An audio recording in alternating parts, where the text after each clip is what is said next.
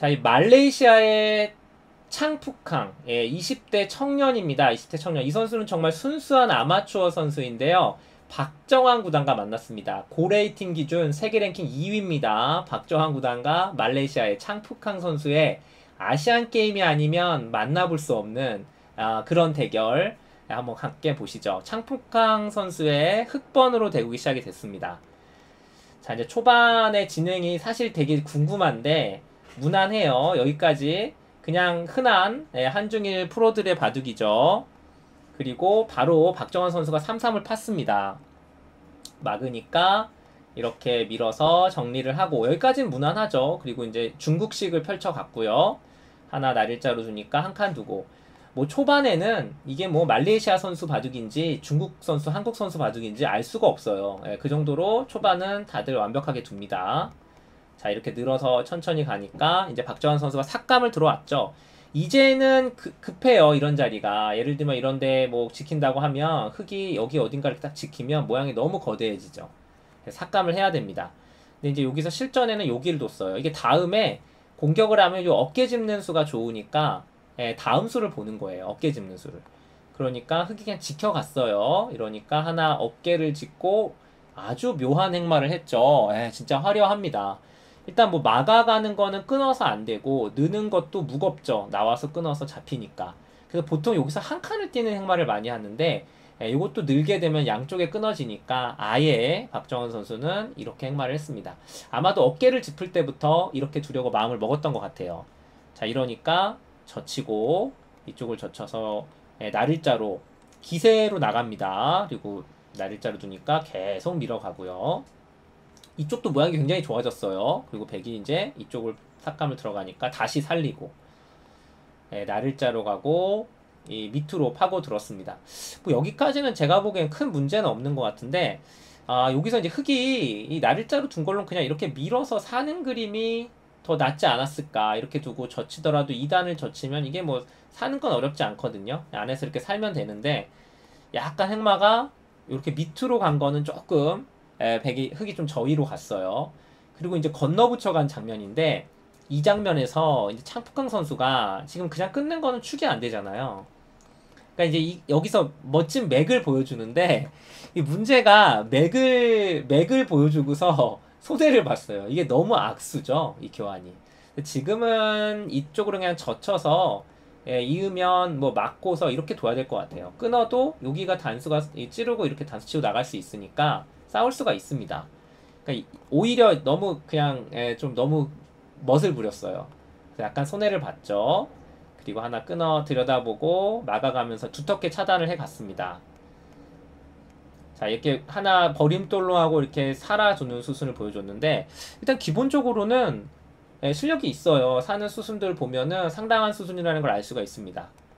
자, 밀어서 하나 젖혀놓고 이제 살아있죠? 그러니까 손을 빼고 이제 이쪽을 지켰는데 아, 여기 지킨 게 약간 좀 촌스러웠죠 행마가 차라리 지금 둔다면은 뭐 이런 식으로 지키는 게 낫고요 아니면 지금은 중앙 쪽으로 예, 두 칸을 떼서 나가는 게 낫습니다 이게 뭐냐면 실전에 이렇게 두긴 뒀는데 백을 너무 두텁게 해줬죠. 그리고 무엇보다 이 형태가 이렇게 뒀음에도 불구하고 살아있지가 못해요. 이게 결국은 두고두고 말을 하는데 에, 이게 이 형태가 좋은 형태가 아닙니다. 그리고 한 칸 띄어서 이 교환도 흙이 좀 아깝죠. 에, 아무래도 좀 더 들어갈 수도 있는 형태고 먼저 이런데 껴붙이거나 좀더 깊숙하게 들어갈 수도 있는 곳인데 좀 아깝죠. 이런 교환들이. 야금야금씩 차이가 벌어집니다. 그래서 모양을 크게 키워갔는데 이게 눈에 보기에는 중앙집이 굉장히 커 보이는데 이렇게 두고 다 늘어둡니다. 자 이게 이제 박정환의 어떻게 보면은 승착이기도 하고 박정환다운 정말 멋진 수라고 보여지는데요. 이게 얼핏 보기엔 이게 뭔가 싶잖아요. 그 흙이 이제 이쪽을 지켰단 말이에요. 이제는 손을 빼면은 에, 여기를 젖혀서 그냥 이렇게 늘어놓고 젖혀 이으면 이게 자체로 죽어요. 못 살죠. 흙이 지켰는데 자 이렇게까지 교환해 놓고 박정환 선수가 노리고 있는 수를 여기서 보여줍니다. 바로 이 수가 진작부터 노리고 있는 수예요. 외길이잖아요. 여기를 끊은 다음에 이 형태가 수가 나는 건 아닙니다. 흙도 수가 많아서 수가 나는 모양은 아닌데 이렇게 수를 늘려놓고 여기도 이제 부분적으로 흙은 요게 정수였어요. 입구자 두고 요렇게 두는 게 부분적으로 정수입니다.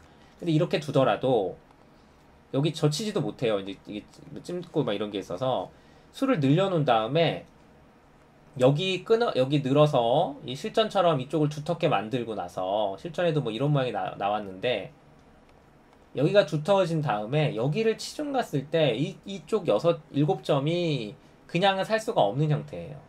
예, 지금은 걸렸습니다.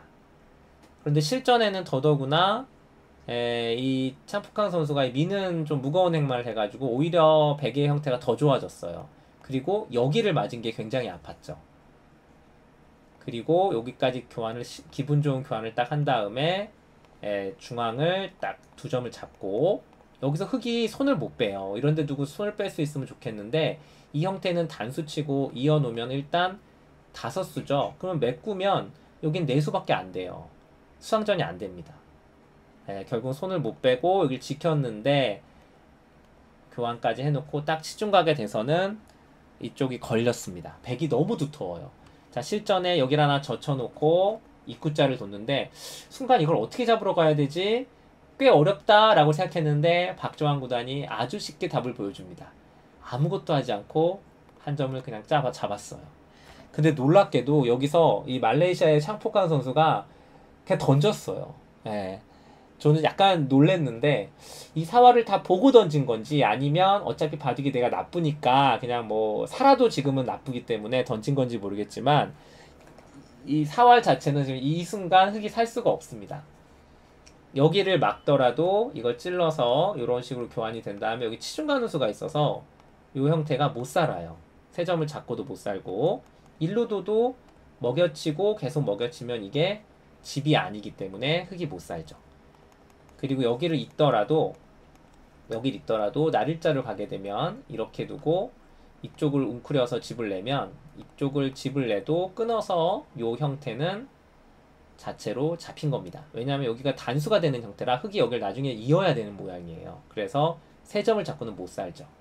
결국 이 모양에서 에, 잡혔다는 것을 확인하고 사는 수가 없다는 것을 확인하고 예, 창폭항 선수가 항복 선언을 했습니다. 예, 던지는 타이밍은 거의 프로급이에요. 예.